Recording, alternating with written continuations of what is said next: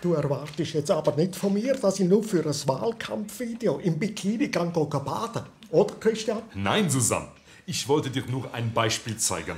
Es ist dringend nötig, dass wir von der SP auch so etwas machen, um zu zeigen, dass auch wir fröhlich und modern sein können mit Selbstironie. Ich muss das nicht zeigen. Ich bin immer fröhlich und ich mache auch meine Ironie immer selber. Aber natürlich, Susanne. Trotzdem. Und modern bin ich auch. Schon, aber nicht in der Hitparade. Und die SVP ist mit ihrem Video dort sehr gut platziert. Das ist doch reiner Kommerz und ganz plumper Macho-Humor. Eben. Und damit wir einen etwas anspruchsvolleren Song machen können, habe ich den besten sozialdemokratischen Entertainer eingeladen, Altgenosse Moritz. Er ist ja längstens nicht mehr in der SP. Er ist in der Implenia. Ah, das ist eine alte Geschichte. Er hat das damals nur gemacht, um uns zu ärgern, weil wir ihn noch früh pensioniert haben. Er ging satirisch zur Implenia. Verstehst du? Ja, äh, meine Ironie versteht halt nicht jeder. Also Moritz, was schlägst du vor? Äh, wir produzieren auch ein Wahlkampfvideo. Aber im Gegensatz zu der SVP ein künstlerisch anspruchsvolles. Ich stelle mir vor, dass die ganze SP-Fraktion ironisch in einem roten Badmantel als Parodie vom Blocher ein Lied singt, wo dann... Ich singe nie beim Baden.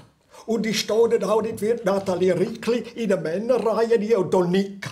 Keine Angst zusammen. Niemand verwechselt dich mit Nathalie Nickli. Rickli.